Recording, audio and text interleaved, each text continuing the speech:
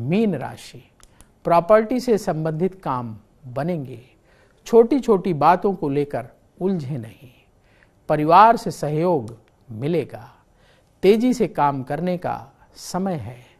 जो पैसा कहीं फंसा हुआ है वो आपको प्राप्त होगा। व्यापार में हर काम सावधानी से करना होगा। ज़रूरी टिप, कम बोलें। शुभ रंग, पीला। उपाय, किसी गरीब को चावल का दान करें।